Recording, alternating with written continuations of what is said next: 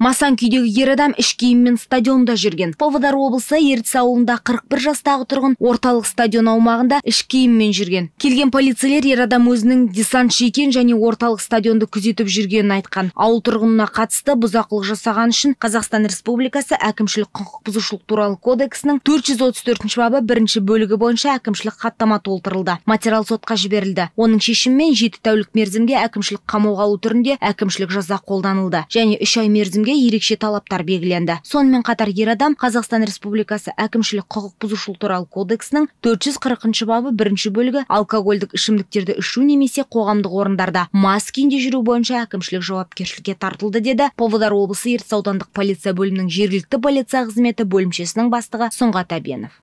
Қарақұйрықтың ұшасын тасымалдаған екі қызылордалық құрықталды. Оқиға 24 мамыр күні қызылорда облысы ұлттық қауіпсіздік комитеті басқармасының жедел іздестіру іс шараларын жүргізу барысында ваз автокөлігімен қарақұйрықтың ұшасын заңсыз тасымалдаған екі қала тұрғыны құрықталды. Автокөлікті тексеру барысында аяқты зат ретінде үш қарақұйрықтың ұшасы тәркіленді. Аталған дерекке қатысты қазақстан республикасы қылмыстық кодексінің 339 бабымен сотқа дейінгі тергеп тексеру әрекеттері жүргізіліп жатыр. Тиісті сараптамалар тағайындалды.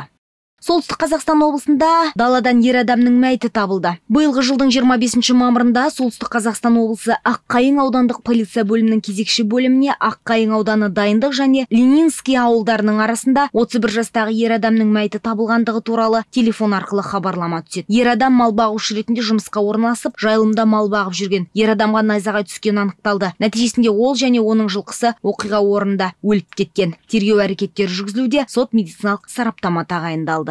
Ақтөбе полицейлері үш зейнеткерді алдаған жас жігітті ұстады. Мамыр айының соңында ақтөбе аумағындағы 83 87 және 90 жастағы зейнеткерлерге қатысты алаяқтық жасалды. Алаяқ құрбандарына жақын туыстарына жол апатына түскені және осы мәселені шешуге жәрдемдесетіні туралы айтып қоңырау шалған. Нәтижесінде егде жастағы жәбірленушілер жиналған барлық жинақтарынан айырылып жалпы шығын 5 миллион теңгеден асты. Жедел тергеу іс шараларының барысында ақтау қаласының 18 жастағы тұрғыны анықталып ұсталды. Қазақстан республикасы қылмыстық кодексінің төртінші тармағы бабының 190 бабы үшінші бөлігі бойынша сотқа дейінгі тергеп тексеру жүргізілді. Ірі мөлшерде екі және одан да көп адамға қатысты алаяқтық кодексі бойынша. Қазақстан республикасы қылмыстық кодексінің 201 бабына сәйкес сотқа дейінгі тергеп тексерудің өзге ақпараттары жария етілуге жатпайды.